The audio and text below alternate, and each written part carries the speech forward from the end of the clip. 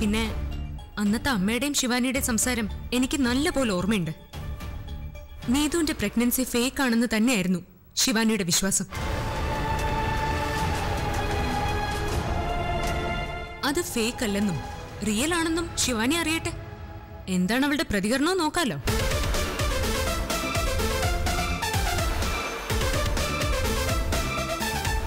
ഇവൾ പറഞ്ഞതിലും കാര്യമുണ്ട്. വെച്ച് താമസിപ്പിക്കണ്ട. ഇപ്പൊ തന്നെ ഓഫീസിൽ നിന്ന് ശിവാനിയെ വരുത്താം.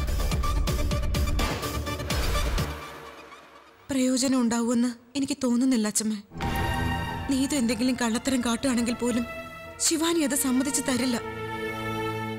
ഓഫീസിൽ ഡിഗ്രേഡ് ചെയ്തതിന്റെ പേരിൽ അവൾക്ക് എന്നോടും കണ്ണേട്ടനോടും നല്ല ദേഷ്യമുണ്ട്. ആയിക്കോട്ടെ. എന്നാലും ഒന്ന് ശ്രമിച്ചു നോക്കി. എന്റെ കണ്ണൻ തെറ്റുകാരനല്ലെന്ന് തെളിഞ്ഞാലോ?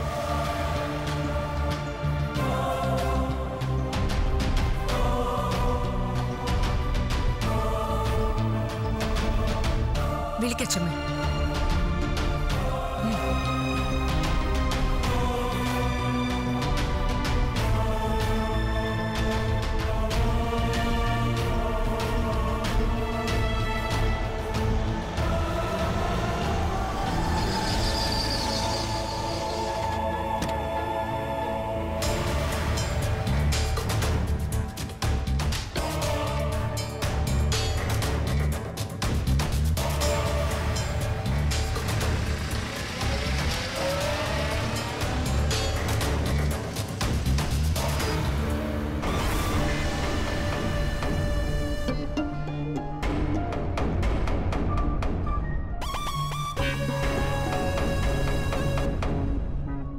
അച്ഛമ്മ എന്തിനാ അത്യാവശ്യമായിട്ട് എന്നോട് വരാൻ പറഞ്ഞേ?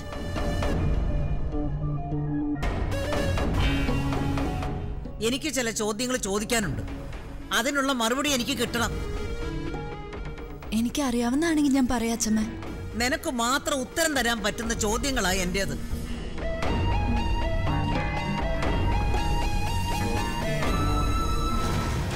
കുറെ കാലമായി നീ ഞങ്ങളുടെ മുമ്പിൽ വരുന്നത് നന്മയുടെ ഒരു മുഖം മൂടി അണിഞ്ഞുകൊണ്ടാണെന്നുള്ള കാര്യം ഞങ്ങൾക്ക് എല്ലാവർക്കും ബോധ്യമായിട്ടുണ്ട്. ആ മുഖംമൂടിക്ക് പിന്നിൽ തിന്മകൾ മാത്രം നിറഞ്ഞൊരു മനസ്സുണ്ട്.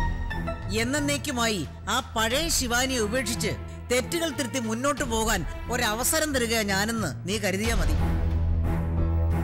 ഞാൻ എന്താ പറയേണ്ടത്? അച്ഛമ്മ ചോദിക്ക്. ചോദ്യത്തിന് മുമ്പ് നീ എന്റെ തലയെ കൈവയ്ക്കണം.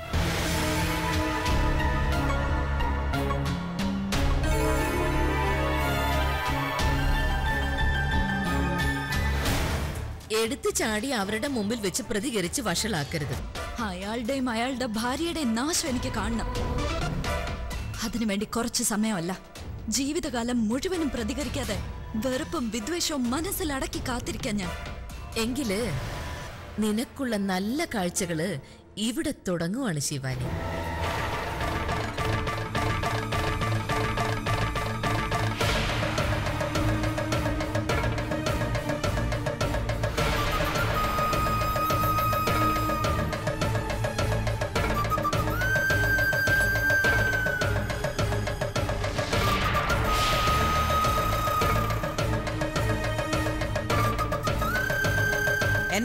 കൈവച്ച് ചോദ്യങ്ങൾക്ക് മറുപടി പറയാൻ ബുദ്ധിമുട്ടാണെങ്കിൽ നിനക്ക് പോകാം. ഏയ് എനിക്കൊരു ബുദ്ധിമുട്ടുമില്ല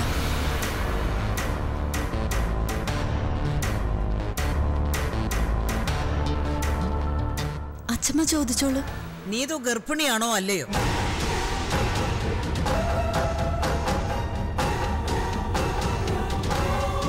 പറ.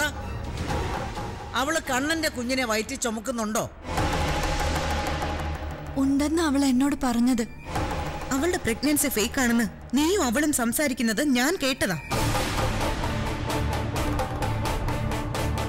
ഞാൻ കേട്ടത് അച്ഛമ്മയുടെ തലയിൽ കൈവച്ച് നിഷേധിക്കാൻ നിനക്ക് പറ്റുമോ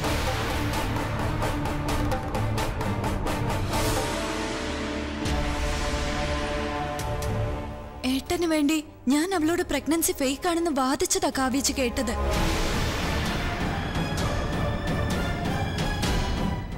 ഒന്ന് ആലോചിച്ച് നോക്ക്. കാവ്യച്ചയും അത് തന്നെയല്ലേ അവളോട് പറഞ്ഞുകൊണ്ടിരിക്കുന്നത് എന്റെ കടമ ഞാനും ചെയ്തു. ഇനിയും ചെയ്യും.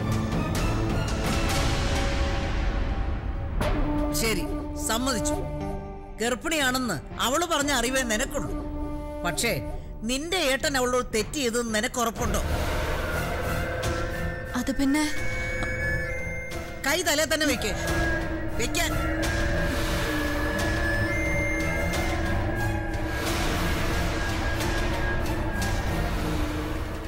ഇനി പറ നിന്റെ ഏട്ടൻ നീതുവിനെ കളങ്കപ്പെടുത്തിയിട്ടുണ്ടോ?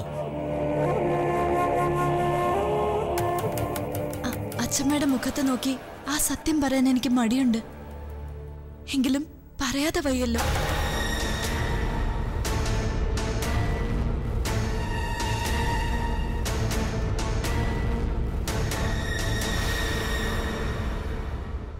ഏട്ടൻ അവളോട് തെറ്റ് ചെയ്തു. ഞാൻ സാക്ഷിയാ.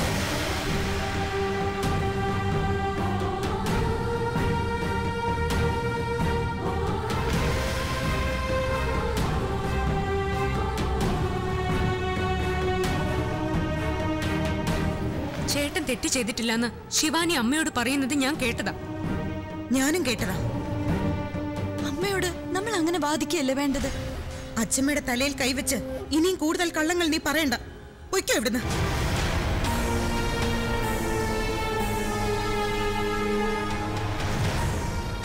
ഞാൻ പറഞ്ഞത് സത്യോ? അച്ഛമ്മയുടെ തലേ തൊട്ട് നുണ പറയാൻ എനിക്കറിയില്ല.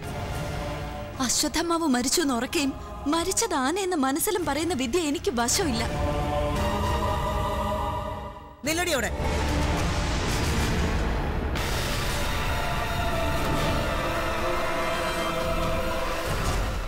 മറ്റെന്തൊക്കെ ചെയ്താലും ഈ കുടുംബത്തെ ചതിക്കാൻ നീ കൂട്ടു നിൽക്കില്ലെന്നാ എന്റെ വിശ്വാസം.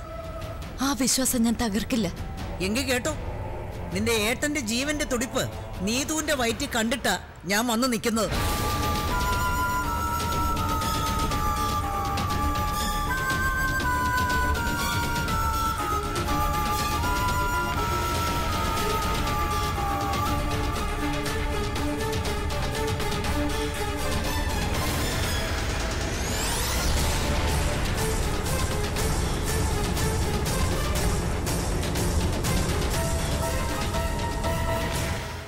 ചോദിക്കുമ്പോ ശിവാനി എനിക്കെതിരെ എന്തെങ്കിലും പറയൂ. നീ ധൈര്യമായിട്ടിരിക്കെ. എടുത്തു ചാടി പ്രതികരിക്കില്ല എന്ന് അവൾ വാക്ക് തന്നത് നീയും കേട്ടതല്ലേ? അതെ എന്നാലും നീതു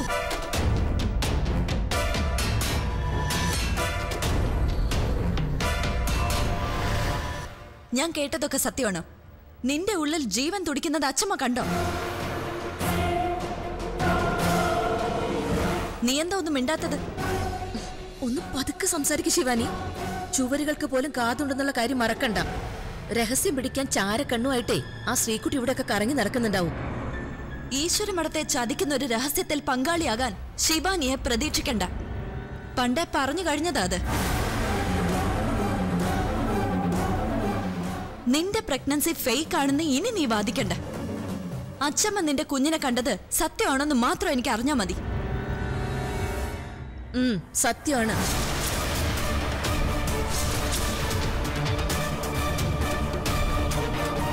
നീതുവിന്റെ പ്രഗ്നൻസി ഒറിജിനൽ തന്നെയാണ്.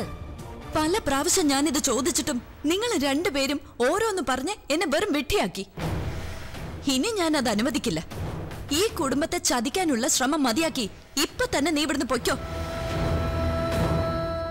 കാവ്യ പുറത്താക്കാനും നിന്റെ വൃത്തികെട്ട ഏട്ടനെ ഒരു പാഠം പഠിപ്പിക്കാനും വേണ്ടി ജീവിതകാലം മുഴുവൻ പ്രതികരിക്കാതിരുന്നോളാന്ന് നീ പറഞ്ഞത് മറന്നോ. ഒക്കെ ശരിയായിരിക്കാം. പക്ഷെ നിങ്ങൾ രണ്ടാളും ചേർന്ന് ചതിക്കുന്നത് എന്റെ ചോരയാ. എന്റെ പാരമ്പര്യത്തെയാ. നിസ്സാര ലാഭത്തിന് വേണ്ടി കുടുംബത്തെ ഒറ്റിക്കൊടുക്കാൻ എന്നെ കിട്ടില്ല. ആരൊറ്റിക്കൊടുത്തെന്ന നീ ഈ പറയുന്നത്? ഒരു ചതിയും ഇതിലില്ല. നിന്റെ ഏട്ടന്റെ കുഞ്ഞു തന്നെയാണ് ഇവളുടെ വയറ്റിലുള്ളത്. നിന്റെ ചോര. ആ നുണ എന്നോട് പറയണ്ട. ഏട്ടൻ ഇവളോട് തെറ്റ് ചെയ്തിട്ടില്ലെന്ന് എനിക്ക് ഉറപ്പുണ്ട്. ഒരു രാത്രിയിലത്തെ കഥയിലെ നിനക്കറിയുള്ളൂ? അതിനു മുമ്പും ശേഷവും പലപ്പോഴും ഇവളും ജീവയും തമ്മിൽ അരുതാത്ത ബന്ധം ഉണ്ടായിട്ടുണ്ട്. ഇല്ല ഞാൻ വിശ്വസിക്കില്ല. വിശ്വസിച്ചേ പറ്റൂ. ആദ്യ രാത്രിയിൽ പോലും കാവ്യ ജീവിയെ പിടിച്ചോണ്ട് വന്നത് എന്റെ അടുത്ത് നിന്നാ. പിന്നെ നീ എന്റെ മുറിയിൽ ജീവയാക്കിയ ആ രാത്രി അന്ന് ജീവ ഉറങ്ങിപ്പോയെന്ന് ഞാൻ നിന്നോട് കള്ളം പറഞ്ഞതാ. എന്തിന്? എന്തിനു വേണ്ടിയാ നീ എന്നോട് കള്ളം പറയുന്നേ? നീ പെട്ടെന്ന് ചോദിച്ചപ്പോ എനിക്കൊരു ചമ്മൽ തോന്നി. കൂടുതൽ ചമ്മാതിരിക്കാൻ വേണ്ടി ഞാനൊരു നുണ പറഞ്ഞതാ. അത്രേ ഉള്ളു ശിവാനി കാര്യം. നിങ്ങൾ രണ്ടുപേരും എന്നോട് കള്ളം പറയാന്ന് എനിക്കറിയാം.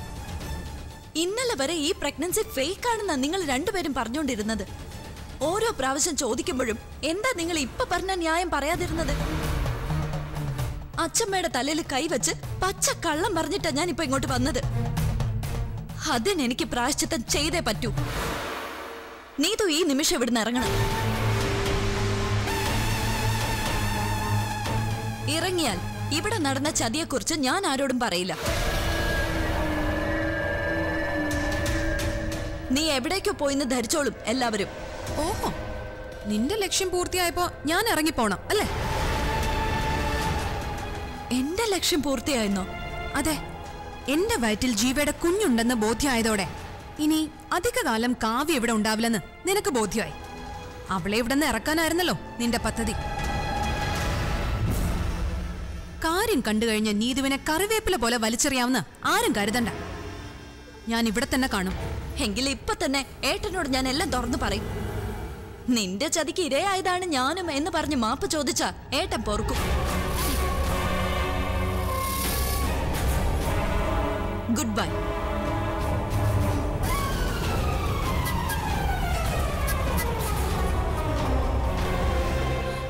ആന്റി ഇനി എന്ത് ചെയ്യും? ഞാനൊന്ന് ആലോചിക്കട്ടെ നീതു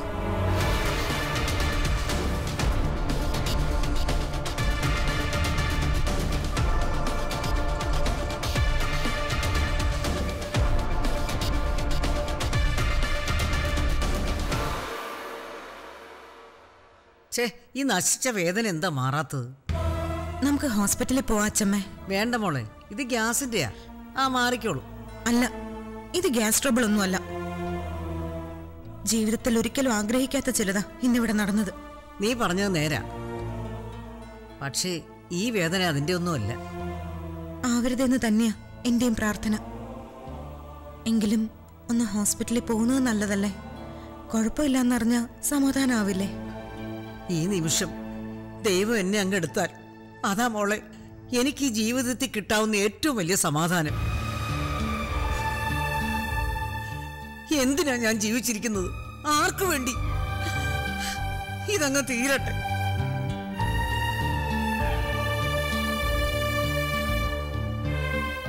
ചൂടുവെള്ളം.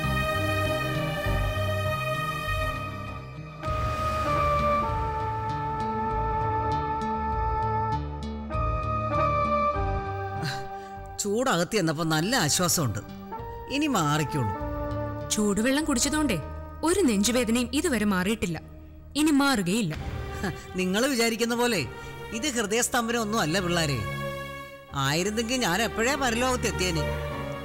വേണ്ടാതീനം പറയാനേ. അച്ഛമ്മേ കഴിഞ്ഞിട്ടേ ഉള്ളൂ വേറെ ആൾക്കാർ കാവ്യച്ചി ഏട്ടൻ എവിടെ മുറി കാണുന്നില്ലല്ലോ. അയ്യോ ഏട്ടൻ എന്താ പറ്റിയെന്ന് അനിയത്തി അറിഞ്ഞില്ലേ? ഇല്ല. കയ്യിലിരിപ്പ് ശരിയല്ലാത്തോണ്ട് ഞാൻ അവനെ ഇറക്കി വിട്ടു.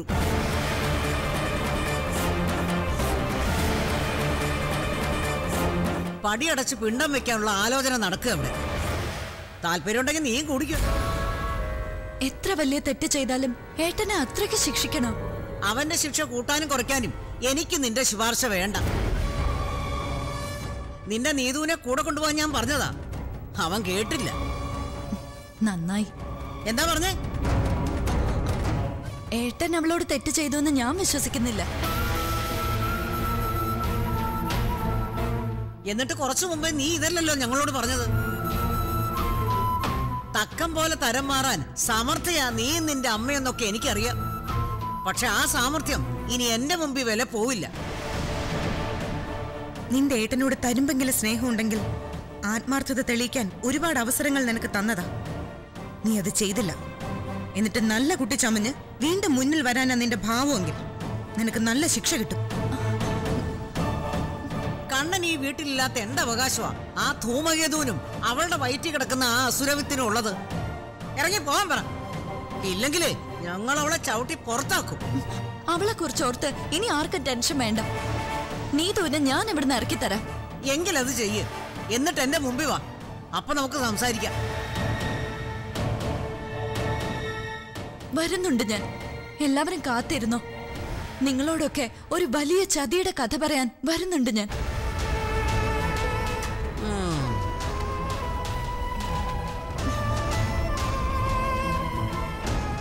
നീതുവിനെ ഇറക്കി വിടും പോലും. ഇതൊക്കെ ഇവളുടെ ഷോയാ. മറ്റുള്ളവരുടെ കണ്ണിൽ പൊടിയിടാനുള്ള നാടകം. പക്ഷേ മക്കളെ അവളോട് നല്ല നാല് വർത്തമാനം പറഞ്ഞപ്പോ ഓ എന്റെ നെഞ്ചുവേദന മാറി.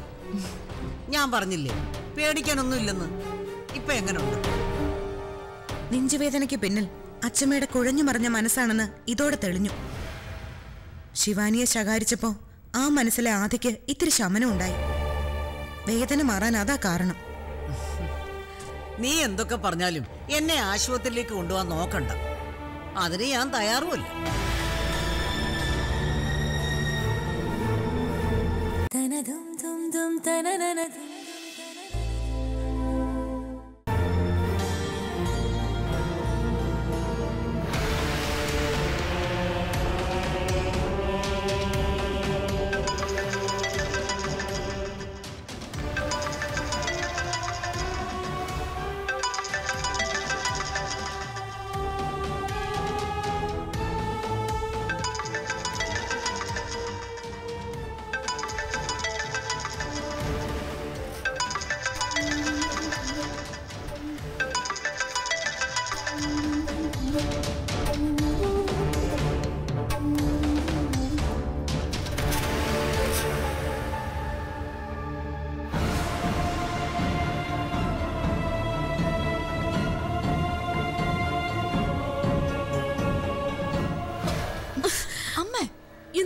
എന്ത് നീ കാണിക്കുന്നത്?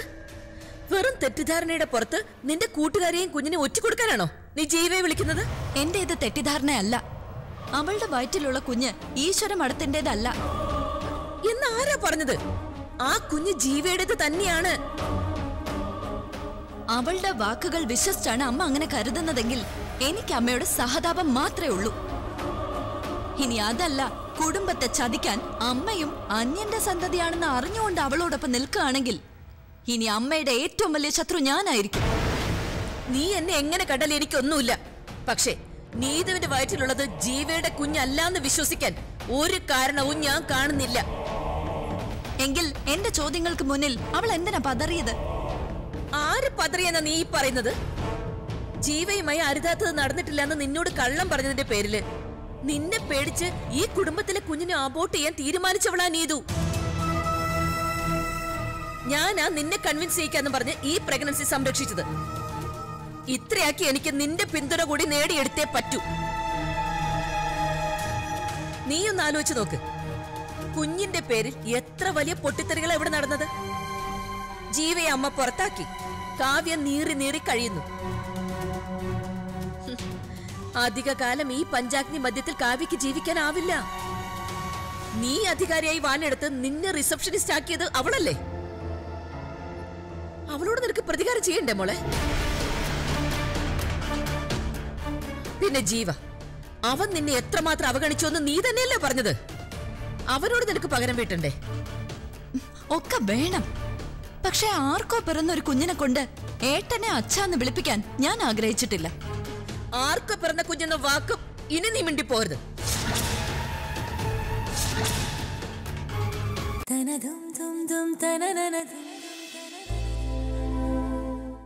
പക്ഷെ ആർക്കോ പിറന്ന ഒരു കുഞ്ഞിനെ കൊണ്ട് ഏട്ടനെ അച്ഛന്ന് വിളിപ്പിക്കാൻ ഞാൻ ആഗ്രഹിച്ചിട്ടില്ല. ആർക്ക് പിറന്ന കുഞ്ഞെന്ന വാക്കും? ഇനി നീ മിണ്ടി പോരുത് അത് ജീവയുടേത് തന്നെയാണ്. ഇനിയും സംശയം ബാക്കിയാണെങ്കിൽ ആ കുഞ്ഞ് ജനിക്കട്ടെ. നിന്റെ സംശയം മാറ്റാൻ വേണ്ടി അതിനെ ഡി എൻ എ ടെസ്റ്റ് നടത്താനും നീതു തയ്യാറാണ്.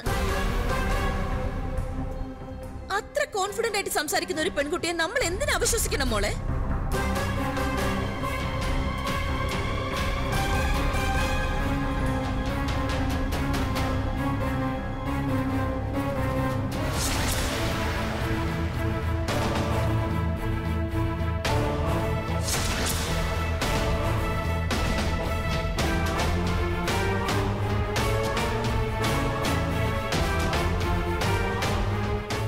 ജീവിതം തകർത്തവരെ നശിപ്പിക്കാൻ കിട്ടിയ അവസരം ഇത്.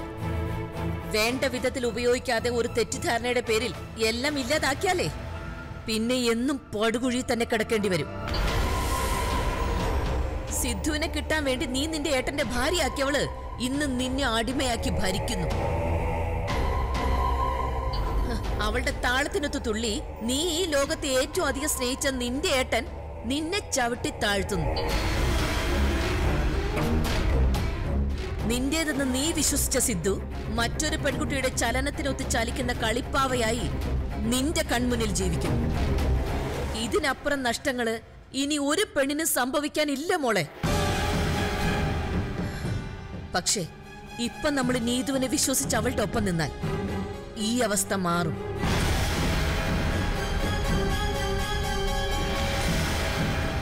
ഇനി ഒരിക്കലും കാവ്യയ്ക്ക് ജീവയുമൊത്ത് ഒരു ജീവിതം ഉണ്ടാവില്ല. ഇത് വിവാഹമോചനത്തിലെ കലാശിക്കൂ. അങ്ങനെ സംഭവിച്ചാൽ ഒരിക്കലും കീർത്തി അവൾ സിദ്ധുവിന് വിവാഹം കഴിച്ചു കൊടുക്കാൻ കൂട്ടുനിൽക്കില്ല നഷ്ടപ്പെട്ട സൗഭാഗ്യങ്ങൾ ഏറ്റവും കൂടുതൽ തിരിച്ചു കിട്ടാൻ പോകുന്നത് നിനക്കാണ്. എനിക്ക് എനിക്ക് ഒന്നുകൂടി ഒന്ന് ആലോചിക്കണം. ഇനി എന്താലോചിക്കാനാ? പിതൃത്വ പരിശോധനയ്ക്ക് വരെ അവൾ സമ്മതിച്ചില്ലേ?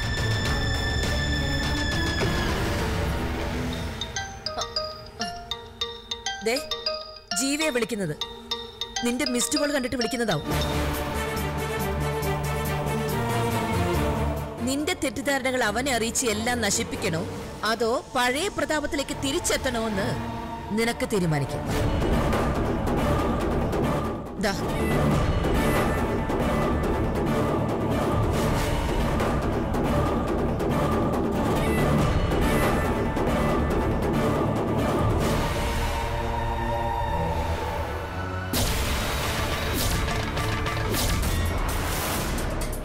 സ്വന്തം ചോരയെ ചതിക്കാനും മാത്രമുള്ള സ്വാർത്ഥതയൊന്നും ഈ ശിവാനിയുടെ മനസ്സിനില്ല.